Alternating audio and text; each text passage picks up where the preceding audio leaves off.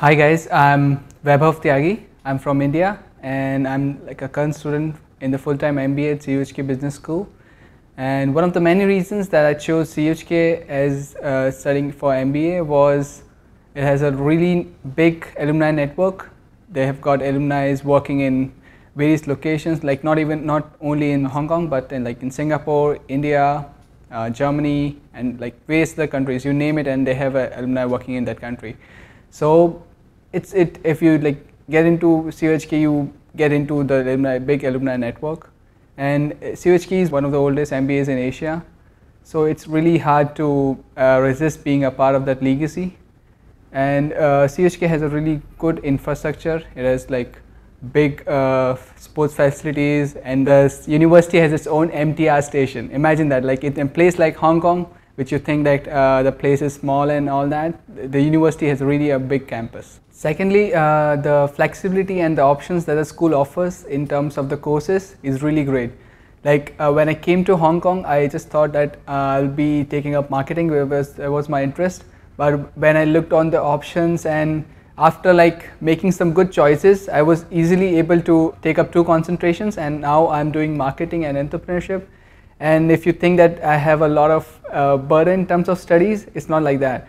I, the, the course is designed like that you don't get burdened with the studies and you have ample time to do different activities besides studying.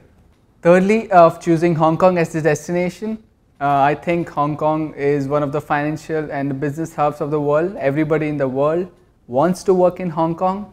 And as you all know that uh, there's a power shift going on from the west to the east. All the action in the future is going to be in the Southeast Asia, especially China. So I really didn't want it to miss the opportunity to be the part of this action. and some people think that Hong Kong has a language problem as Cantonese is the main language spoken. But uh, let me tell you that uh, everybody in Hong Kong speaks English, even the cab drivers. So you really don't have any problem in commuting and all that. And all the signs uh, that are there in Hong Kong have English as well. So to adjust in Hong Kong is not a problem at all. The experience after joining Hong Kong is like great. Uh, we have a really diverse class in terms of uh, countries, in terms of work experience, cultural backgrounds.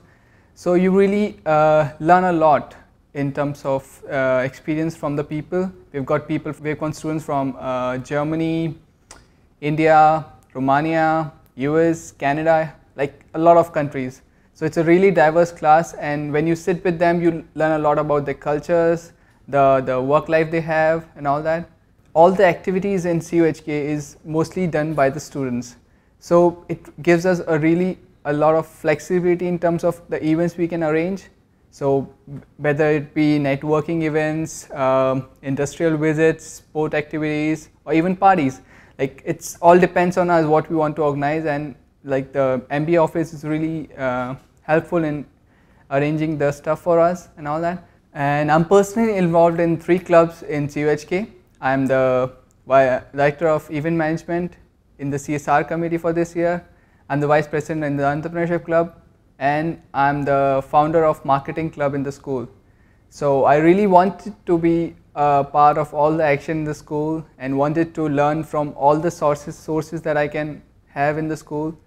So CHK uh, gives you an experience, gives you an opportunity to grow as yourself, grows your career and like be the best in the world.